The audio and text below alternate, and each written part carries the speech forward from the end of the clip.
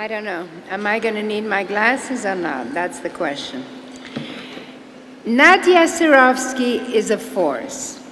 I know this because Nadja is my friend, and also because I've worked with her in many capacities.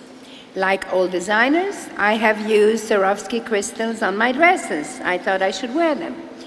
I even collaborated with Swarovski when we built our headquarters and created this huge staircase that we'd call a stairdelier that I enjoy every day. Nadja is also been the godmother of the CFDA Award for more than 10 years. And as the president of the CFDA, I know firsthand that Swarovski's generous sponsor has been invaluable to the industry. As a member of the Swarovski Executive Board and global pa patron of design for the company, Nadja is a connector. She effortlessly orbits the world of fashion, jewelry, architecture, film, and art, keeping the company founded in 1895 by her great-grandfather Daniel Swarovski on the forefront of design and consumer trends. Nadja is a visionary.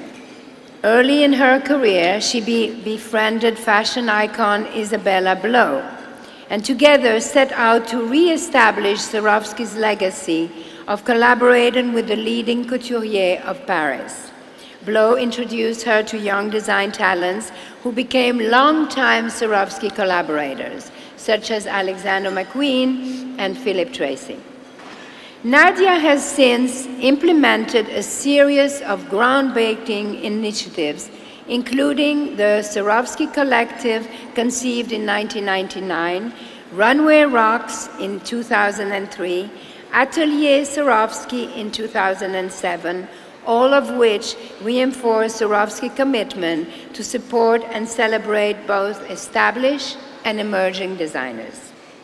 In 2002, Nadja developed Swarovski Crystal Palace, an extraordinary design project featuring creative collaboration with some of the most exciting minds of the 21st century. Ron Arad, Zaha Hadid, Tom, Tom Dixon, and Yves Béhar, to name just a few.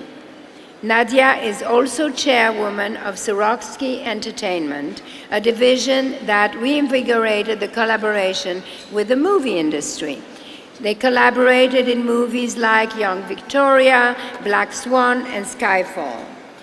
The division first feature film, Romeo and Juliet, will appear, it will be released in the fall of 2013. That's now.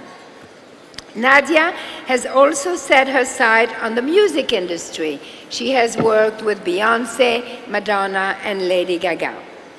All of this, and Nadia still finds time to give. Since 2002, she has overseen Swarovski Global Corporate Responsibility effort. She has a great commitment to philanthropy. She launched the Swarovski Foundation in 2013. Nadja is a force. Nadja is a leader. She is a visionary and an inspiration. And she is our friend. Now she is also the recipient of the Fashion Group International First Brand Vision Award. Please help me to welcome her.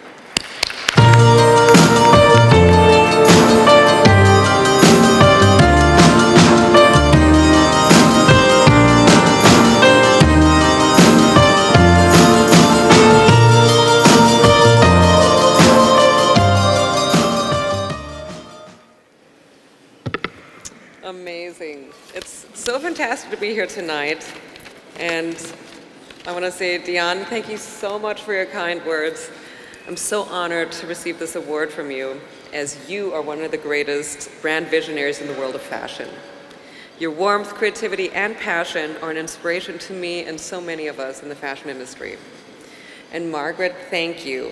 To be recognized by the Fashion Group International is a great honor, to me, it's also a reflection of the tremendous partnerships that I and Swarovski have been privileged to have with so many of you who are here tonight. Swarovski crystal and fashion have enjoyed a long and meaningful relationship. Throughout the years, our crystals have been a creative ingredient within the works of iconic designers as Coco Chanel, Yves Saint Laurent, Christian Dior, and Alexander McQueen, just to name a few. Since joining my family's business in 1995, I've had the privilege to build upon its history by working with established as well as with emerging designers. And it's been an inspiration to watch these incredibly talented individuals push the creative boundaries of crystal in the most innovative ways. Having started my career in New York City, I've had the opportunity to be exposed to many visionaries in the industry, many of whom have become my role models. They've led with a positive example, never taking no for an answer, and finding the courage to follow their dreams. Living up to them and to this motto every day, I've been fortunate to watch the brand that my great-great-grandfather built expand from jewelry and fashion into exciting new areas such as art, architecture, design, as well as stage and screen. In closing, I would like to congratulate my fellow FGI award winners. I'm sure that you have all had your fair share of no's and had days when your dreams seemed out of reach. So tonight is a testimony to your hard work and to your success. Let's celebrate this and continue to reach for the stars. Thank you.